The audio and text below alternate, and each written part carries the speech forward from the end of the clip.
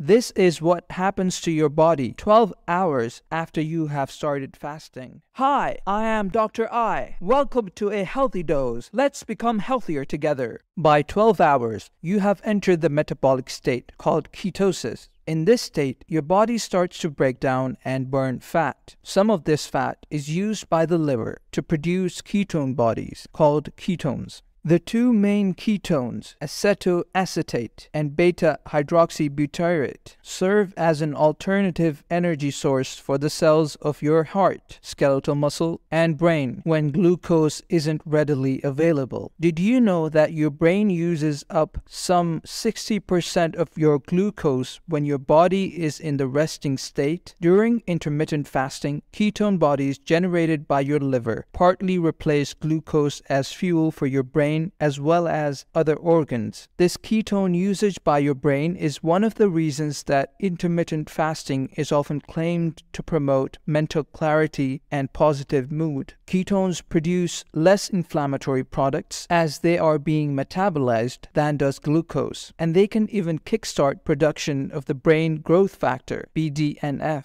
Ketones have also been shown to reduce cellular damage and cell death in neurons and can also reduce inflammation in other cell types. Thank you for watching. Please like, comment, and subscribe.